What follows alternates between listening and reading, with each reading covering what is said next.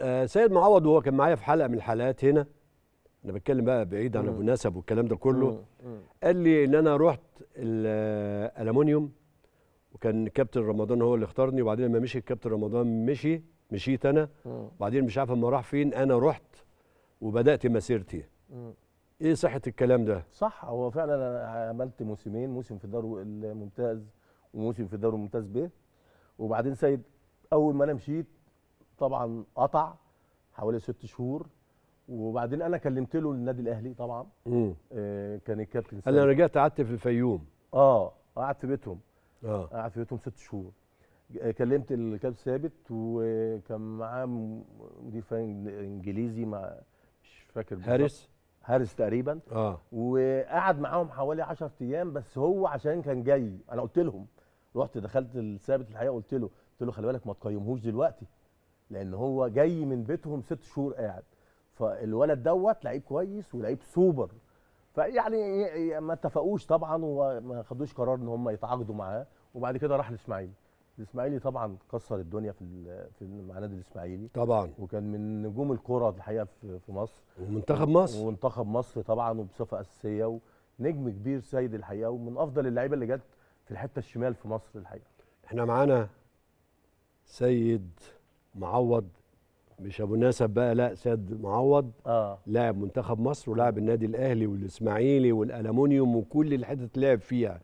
شوف هيقول لك إيه ونرجع نتكلم راني يعني واحد من الناس المهمة جدا في حياتي يعني ووالدي التاني بعد والدي الله يرحمه يعني واحد من المؤثرين جدا من بداياتي يعني أول مدرب اتعاملت معاه على مستوى ال- الأندية الكبيرة. يعني كابتن رمضان أول واحد اداني الفرصة ولعبني first team في الألمونيوم وأنا عندي 17 سنة.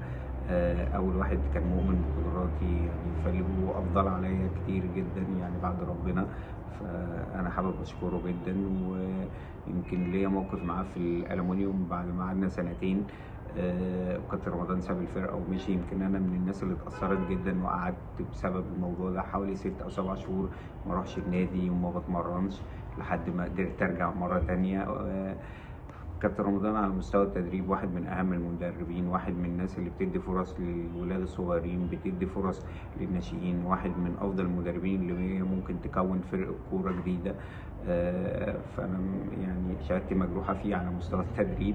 أما على المستوى الشخصي يعني كابتن رمضان أنا زي ما قلت في بداية الفيديو هو زي والدي بالظبط يعني واحد من الناس اللي وقفت معايا بشكل كبير جدا من وأنا صغير وواحد من الناس اللي أنا بتشرف إن أنا دخلت بيتهم وإن هم بقوا عيلتي التانية و يعني كابتن رمضان من الناس اللي أنا باخد رايه في أي حاجة سواء على المستوى الشخصي أو على مستوى أيام ما كنت لعيب أو كنت مدرب. أظن بنتنا ماشية على عجين ما ينبع ها؟ آه آه ده سيد شخصية جميلة الحقيقة. آه. حاجة لا سيد جميل. آه آه. آه، طبعا آه، هو آه، جوز رشا بنتي. جالك إزاي؟ يتقدم إزاي؟ اتقدم والله وهو في الإسماعيلي هو طبعا أنا لما آه، عرضته على النادي الأهلي والتجربة ما ما, ما نجحتش يعني فلما راح الإسماعيلي كنا على العلاقه على طول بنكلم بعض على طول لأن هو مرتبط بيا ارتباط كبير جدا بعد. الموسمين اللي هو اشتغلوا معايا في الالومنيوم فطبعا في زيارة كده فشاف رشا ف في آخر الزيارة قال لي يا كابتن أنا بطلب قال لك يا عمي. آه. بعد يا ما. بعد ما كان بيقول لك كابتن قال لك يا عمي. آه. آه قال لي أنا بطلب إيد رشا وبتاع. قلت له أنا مش هلاقي أحسن منك يا سيد. ما شاء الله. وأنت من ولاد الرجالة جدا جدا جدا وأنا عارف شخصيتك كويس. بقيت توجهه وهو بيلعب؟ آه آه كنا بنتكلم في كل حاجة مع آه. آه. بعض. كنا بنتكلم على طول مع بعض إذا كان في ال... هو بيدرب هو بي... بي... بيلعب الحقيقة. لكن هو هو زي ما بقول لك يا كابتن مصطفى من اللعيبة ال- القليلة بقى اللي جت في الناحية الشمال دي حاجة جامدة آه جدا لا لا لا كان لعيب جامد جدا جدا كان لعيب جامد كان بيعمل الجبهه ده. الشمال يعني مش مش شرط يبقى معاه لعيبة ده يسموا كان. بيسجل وبيرفع. وبيشوط آه، وبيغير آه. مكانه لا لا بيعمل جماعية وبتاع هو طبعا آه، رشا متجوز رشا رشا دي آه، في ناس تقول لك إيه آه، الصبيان والبنات أنا عندي رشا دي الكبيرة أغلى حاجة عندي في حياتي. مليون راجل. آه أغلى حاجة عندي ربنا يخليها لك إيه. الج- إيه الطيبة دي وإيه الذوق ده وإيه الأدب دي ده؟ أول آه. آه. آه. عندك بنتين؟ آه لأ بنت بنت وولدين أحمد ولدين. ومحمد. آه يعني هو رسول الله عليه الصلاه والسلام آه. قال لك خير أمتي من بكر بونسى آه والله. فعلا فعلا ما شاء الله. لا البنات دي حاجة نعمة من الله. والسلام. فعلا آه. فعلا. الواحد رشا دي أهم حاجة عندي في حياتي. ربنا يخليها لك يا الله رب ويشوفك. الله يخليك.